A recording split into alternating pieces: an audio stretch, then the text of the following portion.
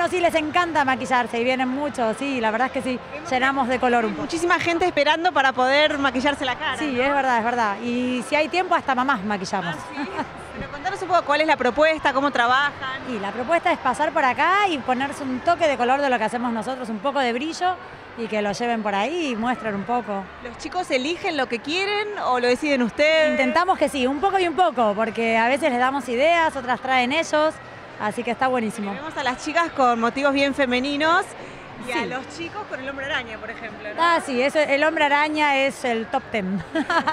sí, sí, todo el mundo. Pero bueno, nosotros también tratamos de contarles que hacemos otras cosas también divertidas y que no hay de nena y de nene. Para todos. Nos gustan los colores a todos, a las nenas y a los nenes. Bueno, ¿y ¿Cómo están viviendo ustedes estas vacaciones de invierno acá?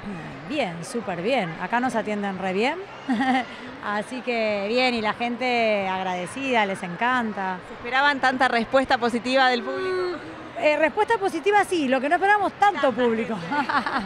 Esperábamos positiva porque vinimos todos con buena onda y con ganas de que se lleven cosas lindas, así que sí. Bueno, hasta el domingo inclusive, entonces acá en el Paseo Alba. inclusive, sí, hay de todo, hay kermés, juegan a todo, hay espectáculos, así que yo creo que la pasan genial. Y para maquillarse, chicos, ¿desde qué edad más o menos? No, todo, maquillo bebés, maquillo mamás, maquillo papás, tíos, abuelas, nenas, todo. Le damos sí al camarógrafo si se quiere maquillar antes de irse. ¿Querés? Yo te maquillo, vení, sentate acá. Claro que sí.